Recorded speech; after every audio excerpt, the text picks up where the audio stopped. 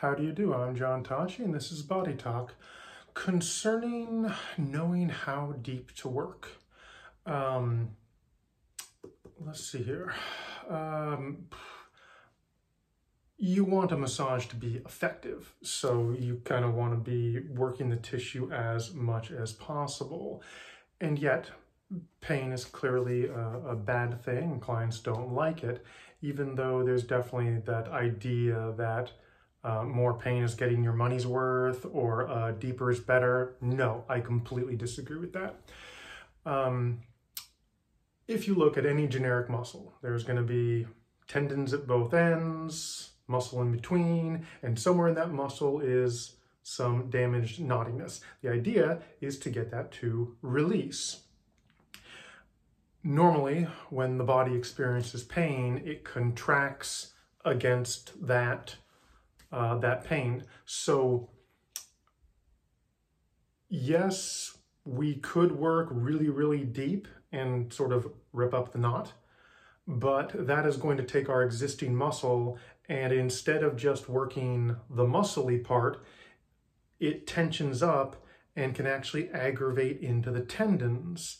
And that's how a really deep massage session can develop tendonitis. Um, an alternative to um, working really deep is um, what, what my preferred method.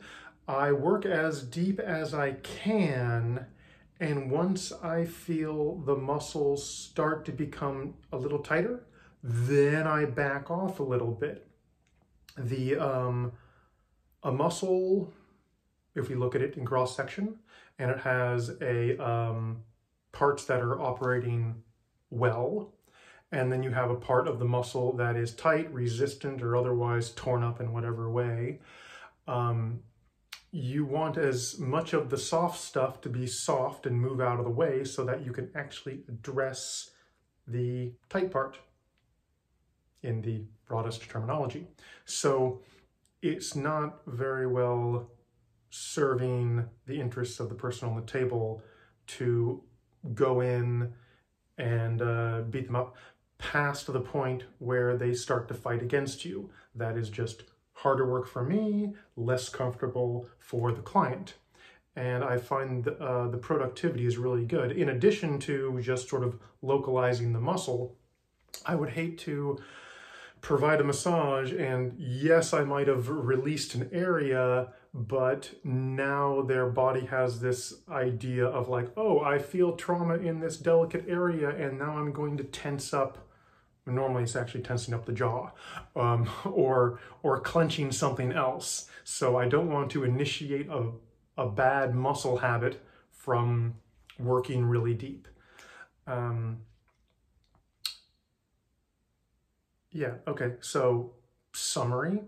Um, massage doesn't have to be painful. And indeed, um, a massage that is not painful can be more productive than a painful massage. Yeah, I like that. Okay, uh, this has been Body Talk, and I'm John Tacchi.